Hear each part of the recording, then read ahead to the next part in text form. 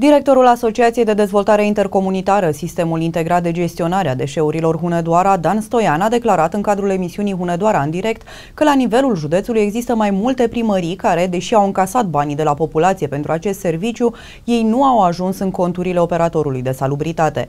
Astfel, sunt înregistrate datorii ce se ridică la câteva milioane de euro, existând și riscul de a se impune anumite restricții în colectarea deșeurilor din localitățile respective.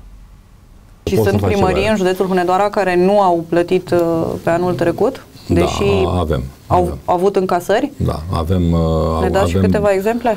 Uh, nu dăm exemple, dar avem uh, sume foarte mari. La momentul actual, operatorul are o problemă foarte mare la noi în județ, pentru că are sume mari de încasat de la primării. Toate banii, banii acum toți de la primării, pentru că pe toți județul avem sistemul de taxă, uh, are de ordinul milioanelor de euro de încasat și, până la urmă, nu este normal, pentru că uh, operatorului noi cerem să aibă frecvența, noi cerem să aibă mașini, noi cerem să uh, respecte o grămadă grămadă de sarcini, dar noi uh, nu ajung banii toți la el. Și atunci, sigur că problema este cu ce și întreține activitatea zilnică. N-am ajuns încă la restricții să restricționăm serviciul pe anumite zone. În contracte care le aveam există clauze clare care spun că dacă operatorul nu și încasează banii la termen sau într-un termen rezonabil, se poate face o notificare către noi, un preaviz de 5 zile către OAT-ul care a rămas dator și atunci de comun acord cu noi putem să restricționăm frecvența de ridicare. Adică eu sunt optimist că nu va fi un blocaj generalizat. Sunt, sunt probleme, probleme vedeți că peste tot în țară sunt... Dar vine întrebarea firească, unde sunt acei bani?